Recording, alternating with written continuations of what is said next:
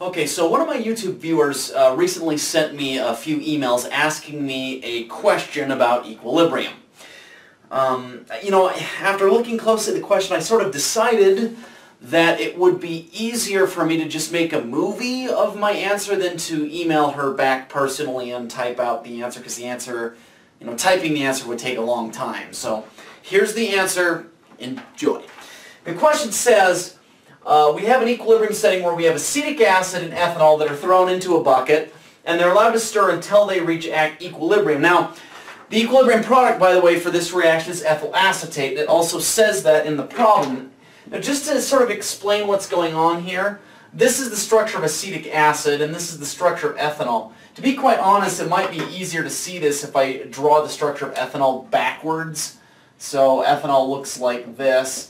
When these two things interact, what they essentially do is they trade partners. So this OH right here and this hydrogen right here get stuck together to form water, H2O. So I've got this hydrogen, this OH, stuck together, they become H2O. And then the rest of this molecule, this OCH2CH3, gets sort of uh, appended onto this carbon. So basically what happens is this hydrogen, oxygen, or uh, this hydrogen OH stick together, and then this thing comes and uh, takes the place of, or, of the OH. So it's essentially a partner swap.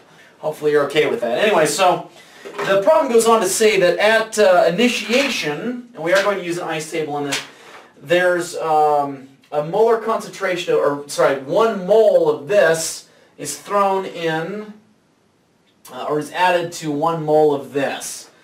And of course, at initiation, we're going to assume that there are zero moles of ethyl acetate and zero moles of water.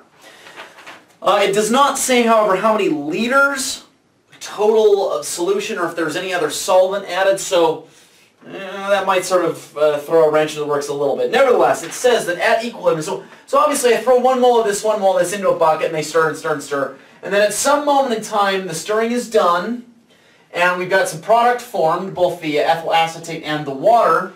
Anyway, some amount of change has occurred. I've gotten some amounts of these reactants uh, converting into products, and so I've got like a minus X here and a minus X there. And then these are present in a 1 to 1 to 1 to 1 ratio. So I've got a plus x and a plus x as the degree of change or amount of change of these products. It tells me then in this problem that at equilibrium, once it hits equilibrium, the uh, amount of moles of H2O is 0.75. So there are 0.75 moles of H2O. And then it asks me to calculate the equilibrium rate constant. Now please keep in mind the equilibrium rate constant is going to be equal to the concentration of ethyl acetate. Ethyl acetate, by the way, is, um, I'm just sort of shortening it by calling it C because it's easier to write the letter C than it is to write out ethyl acetate. So the concentration of ethyl acetate divided by the concentrations of the reactants A and B, acetic acid and ethanol in this case, multiplied by each other. So anyway, I have to figure out what the equilibrium concentrations are for each of these substances, throw those numbers in here, and then throw it in my calculator, and I should get the equilibrium rate constant.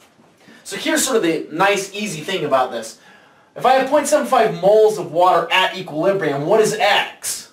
Well, X must have been 0.75, right? Because I started out with zero moles of water, and I end up with 0.75 moles of water, at least from the information I've been given in this problem, that's what I'm assuming.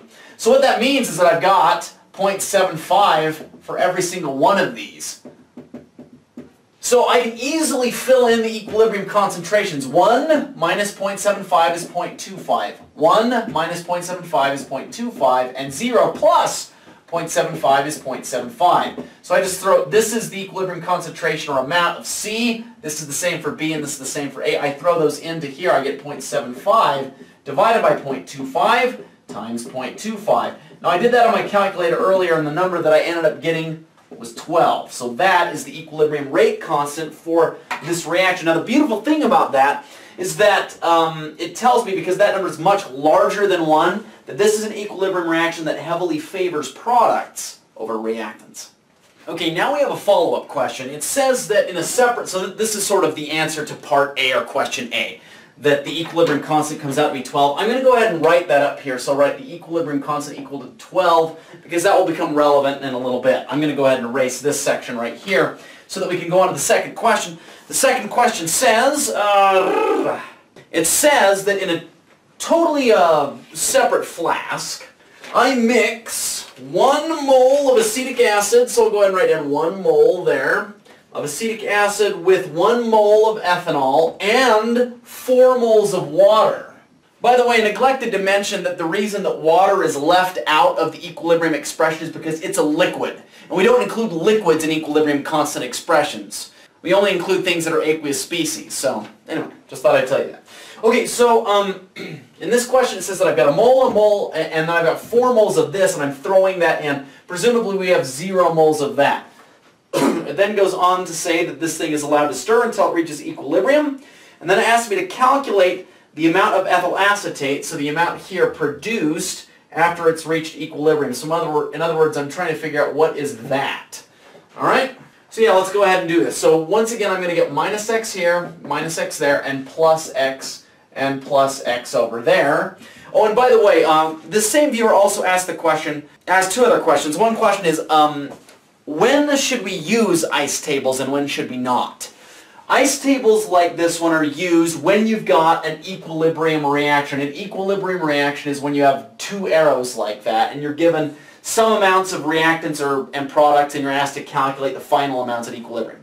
This kind of arrow ICE table is often where you're going to go. Maybe not necessarily always, it depends on the specific question, but that's usually an indicator that an ICE table will very likely be something you'll be using, depending on the specific question.